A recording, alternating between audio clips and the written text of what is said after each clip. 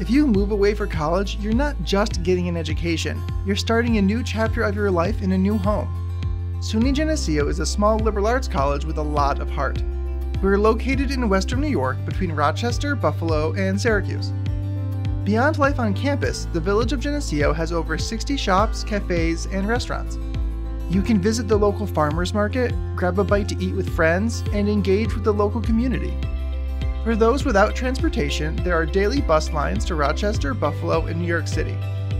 The closest city to Geneseo is Rochester, where you can enjoy the arts, culture, and music. Attend festivals, visit local museums, and explore everything this vibrant city has to offer. The Finger Lakes region is perfect for nature lovers.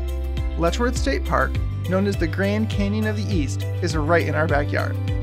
For hiking, there are other state parks within a drivable distance, like Stony Brook and Watkins Glen. And if the waterfalls at Letchworth aren't enough for you, there's always Niagara Falls. When you go to college, you're joining a community. We would love to welcome you here for a visit, so go online and schedule an on campus tour. But Make sure to leave enough time to enjoy everything else the Geneseo area has to offer.